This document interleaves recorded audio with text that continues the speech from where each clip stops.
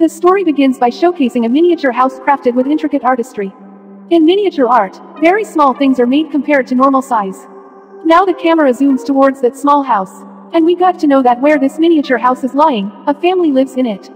The old woman in this family has died. And now this family is going to their funeral. There was an old woman's daughter in the family whose name is Annie. Her husband and two children, a boy and a girl. Now Annie's daughter was quite strange from the beginning. She used to do weird things as well as doing strange things. Like sleeping in a small house even in the harsh winter, wearing strange clothes etc. And apart from being a girl, her body was like a big person. That is, she was not normal at all. Now when this family reached Annie's mother's funeral, there were a lot of strangers there to join this funeral.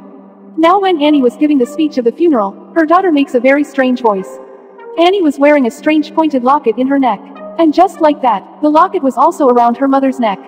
Now it was surprising for the strangers to come here. But it is surprising when a man looks at Annie's daughter and smiles. And she also starts looking at him. After the funeral, this family comes back home. Everyone was told about it. Like Annie was an artist of a miniature. And the initial miniature house was made by her. But she was always worried and filled with sorrow. Annie's son Peter was also strange.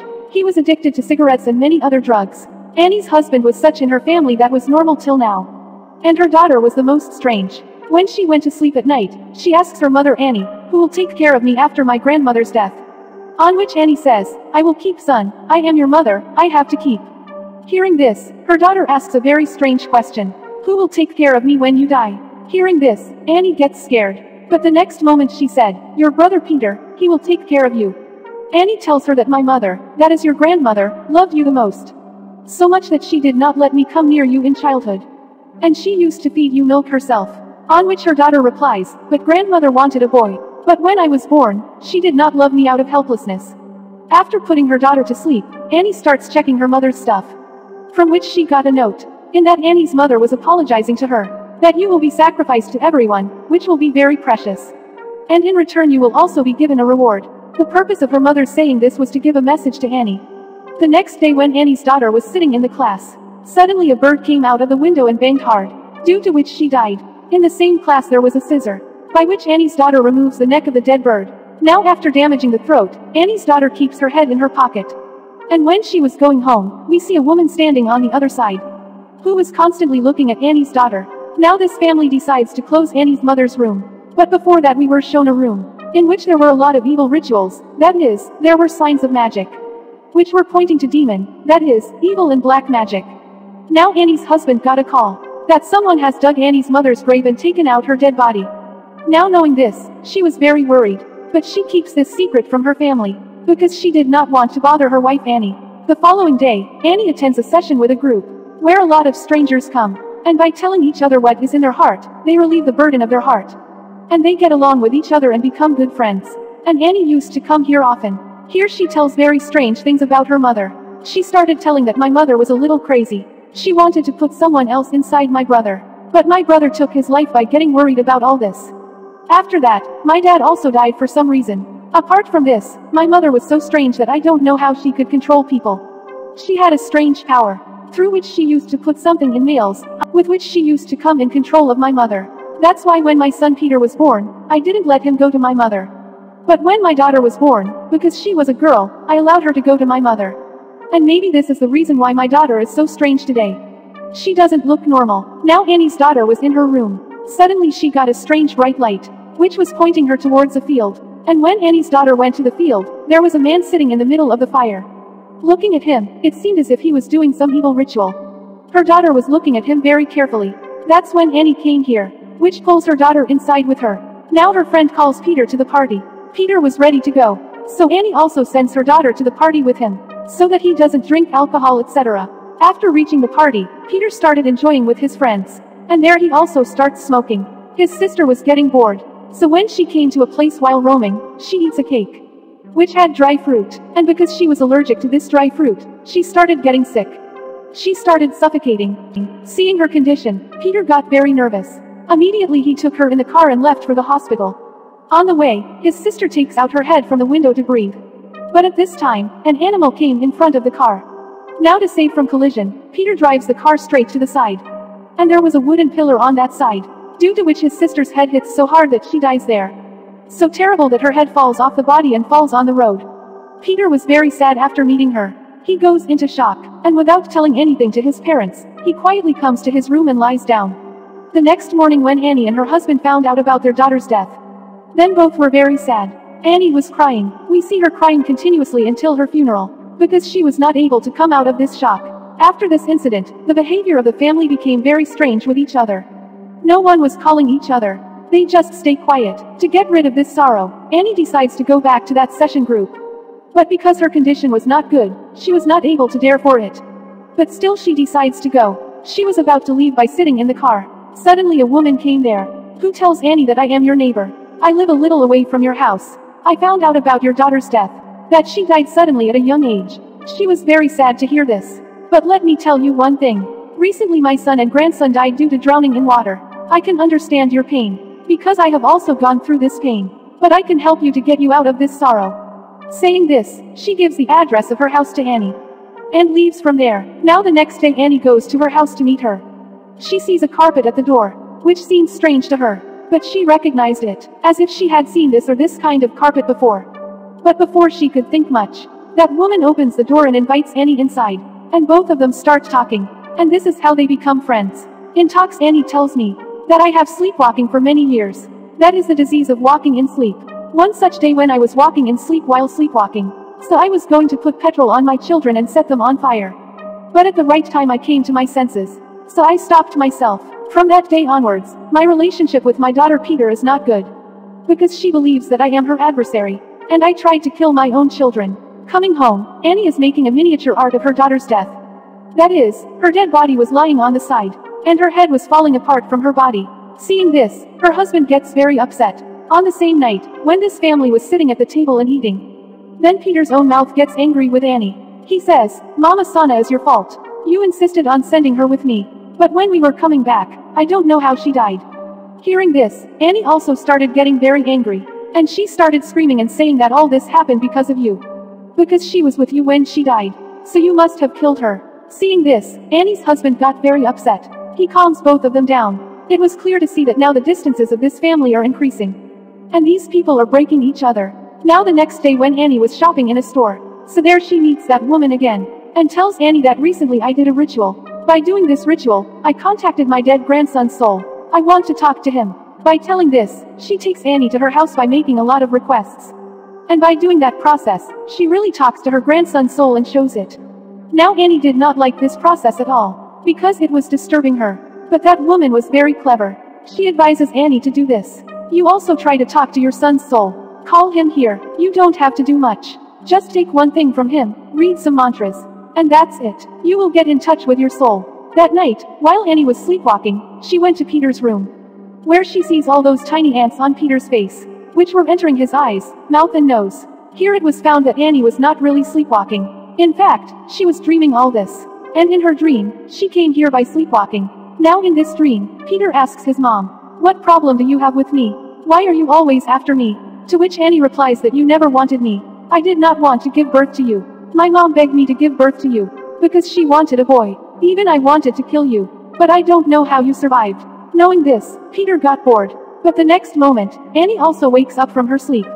And she also found out that this is just a dream. She immediately goes to her husband and son, telling them about this ritual process. Starts this process, so that according to that woman's wish, she can call her son. Now as soon as the process started, peculiar occurrences begin to transpire. Like suddenly Annie started talking in a scary voice to her son. And the candles were also burning on their own. Peter was very scared of all this. That's why his dad throws water on Annie's face to stop this process. Due to which the process broke. And Annie came to her senses. Strange thing, whatever happened just now, Annie did not remember anything about it. Because maybe her son's soul had come inside her. Now the next day we see Annie very worried. In anger, she breaks all her miniature hearts. Now Annie's son's diary, which was used in this ritual process. In that, Peter's picture starts to appear on its own. The next day when Peter was in school, he sees himself in the mirror, where his real and the reflection were completely opposite to each other. That is, in reality, his expressions, emotions were completely serious, while in his reflection, he was looking very happy. There was a smile on his face. Annie tries to burn her son's diary, but where earlier the diary was not on fire. But when it was on fire, Annie was also on fire. Due to which she has to extinguish the fire of the diary. Now Annie was very confused by all these things.